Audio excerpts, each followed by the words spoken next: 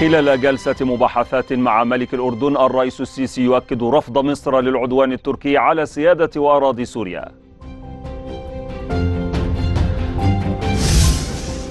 الرئيس عبد الفتاح السيسي يتلقى اتصالا هاتفيا من الرئيس العراقي برهم صالح لبحث تداعيات العدوان التركي على سوريا.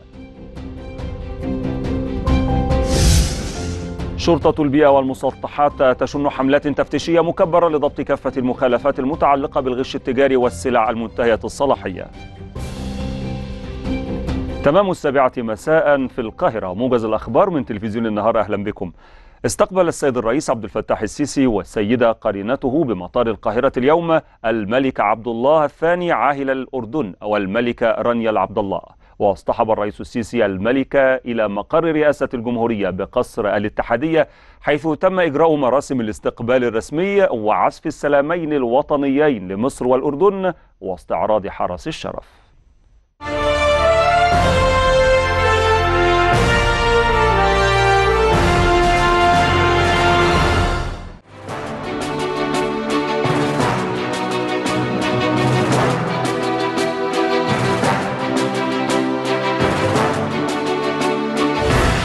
استقبل السيد الرئيس عبد الفتاح السيسي والسيدة قرينته بمطار القاهرة الملك عبد الله الثاني بن الحسين عاهل المملكة الأردنية الهاشمية والملكة رانيا العبد الله. وقال السفير بسام راضي المتحدث الرسمي باسم رئاسة الجمهورية إن السيد الرئيس اصطحب ملك الأردن إلى قصر الاتحادية حيث تم إجراء مراسم الاستقبال الرسمية وعزف السلامين الوطنيين واستعراض حرس الشرف.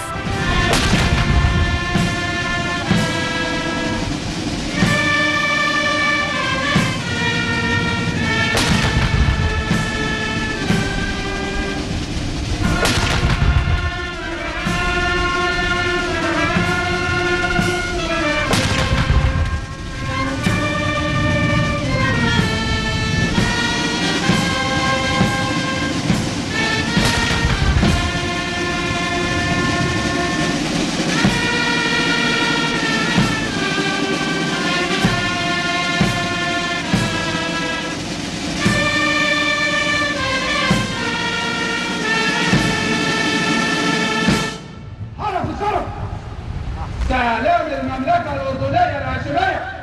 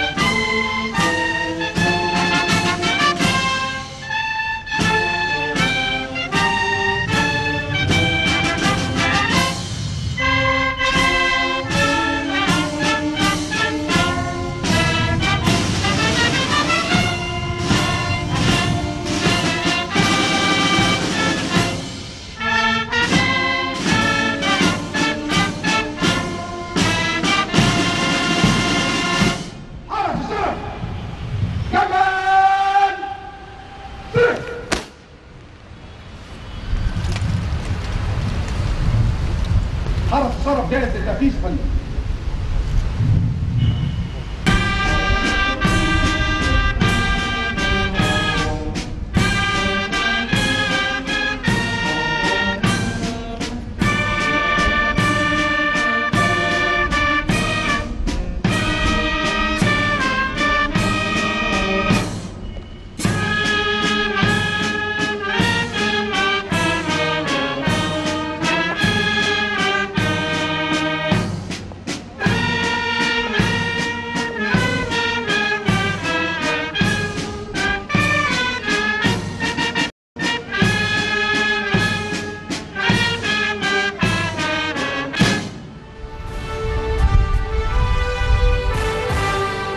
وصرح السفير بسام راضي بأن هذه الزيارة تهدف إلى تعزيز التعاون الاقتصادي والتجاري والاستثماري بين مصر والأردن وتعزيز العمل العربي المشترك وبحث آخر المستجدات التي تشهدها المنطقة وجهود مكافحة الإرهاب بجانب تنسيق الرؤى.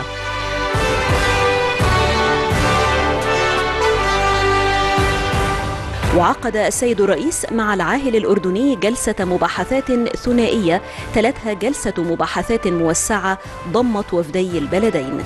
وأشاد السيد الرئيس بالعلاقات المتميزة التي تجمع بين البلدين على المستويين الرسمي والشعبي.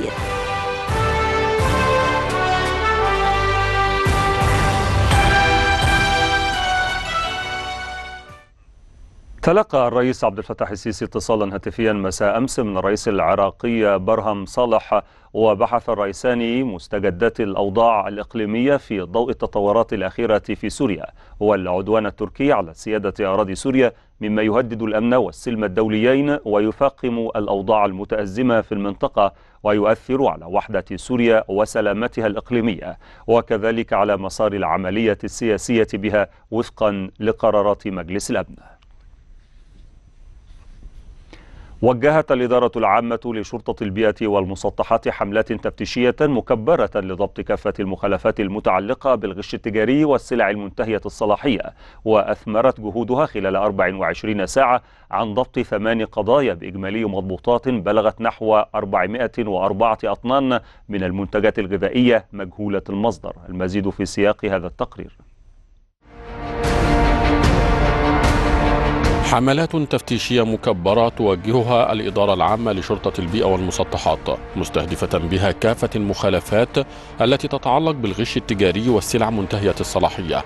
أثمرت جهودها خلال 24 ساعة عن ضبط ثمان قضايا بإجمالي مضبوطات بلغت نحو 440 طن من المواد الغذائية ومنتجات الحاصلات الزراعية والمشروبات والمخللات والزيوت جميعها مجهولة المصدر وغير صالحة للاستهلاك الآدمي وغير مدون عليها ثمة بيانات تفيد صلاحيتها أو مصدرها كما أنها غير مطابقة للمواصفات ومنسوب إنتاجها لشركات وهمية.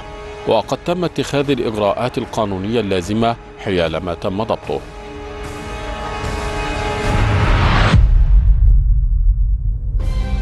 كان هذا موجز السابعة مساء من شبكة تلفزيون النهار. أشكركم لطيب المتابعة. إلى اللقاء.